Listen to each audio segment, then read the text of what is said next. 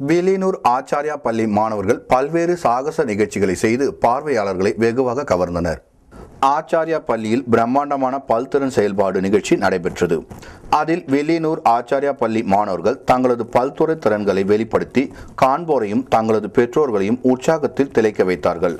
ஆச்சாரியா பள்ளி மாணவர்கள் பாட அறிவு மட்டுமல்லாமல் கராத்தே கிரியா கால்பந்து வழுக்குமர சாகசம் பரதநாட்டியம் சிலம்பம் மேற்கத்திய நாட்டிய நடனம் ஹாக்கி போன்ற பல விளையாட்டு கலைகளிலும் அவர்களது திறமைகளை வெளிப்படுத்தி பார்ப்பவர்களை பிரமிக்க வைத்தார்கள்.